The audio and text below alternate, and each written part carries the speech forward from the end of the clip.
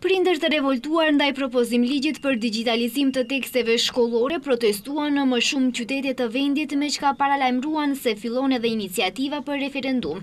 Në masë të madhe thonë se i shqetëson edhe qasja e ministres së Arsimit Mila Carovska, e cila refuzon që të marrë mendime dhe propozime nga prindërit, si dhe refuzon që për këtë ligj të organizojë debat publik. Sipas koordinatores së Iniciativës Qytetare Libra dhe Mësim duhet të ketë Dragana Spasevska, akademikë dhe profesionistë të fushës i mbështesin ata në kundërshtimin e këtij ligji që sipas tyre nuk është në dobi të nxënësve. Do të shkojmë në referendum të detyrueshëm, jo në konsultativ, dhe do t'i shohim qëndrimet dhe mendimet e prindërve.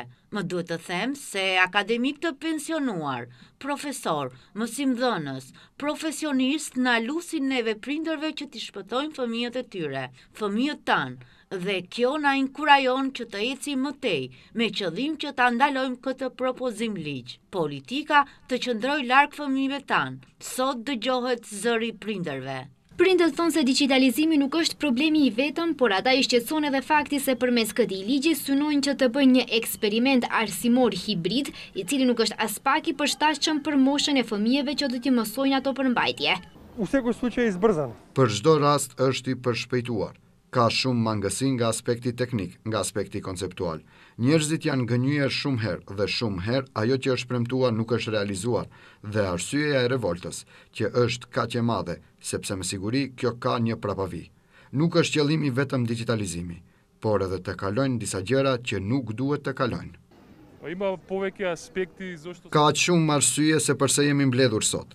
E para është revolta dhe shqetësimi jonë si prindër të fëmijëve të klasës së katërt për programin e ri dhe mënyrën se si duhet realizuar. Numër dy është injorimi dhe diskriminimi nga ana e ministres Mila Carovska, e cila nuk i merr parasysh idetë dhe propozimet e prindërve.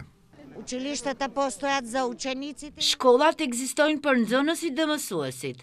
Aty e kanë vendin. Gjatë pandemisë, mësimi virtuel tregoi se nuk vlen. Për këtë arsye, unë them se në çdo të keqe ka një të mirë. Pandemia këtë na e tregoi. Protesta po mbahen nëpër më shumë qytete të vendit që organizohen nga prindër që refuzojnë që fëmijët e tyre të mësojnë përmes telefonave ose tabletave. Protestat i kanë mbështetur edhe zëri i nxënësve të shkollave të mesme. Nga Ministria e Arsimit dhe Shkencës janë deklaruar se nuk do të tërhiqen nga sjellja e ligjit të ri për tekste shkollore për shkollat fillore dhe të mesme.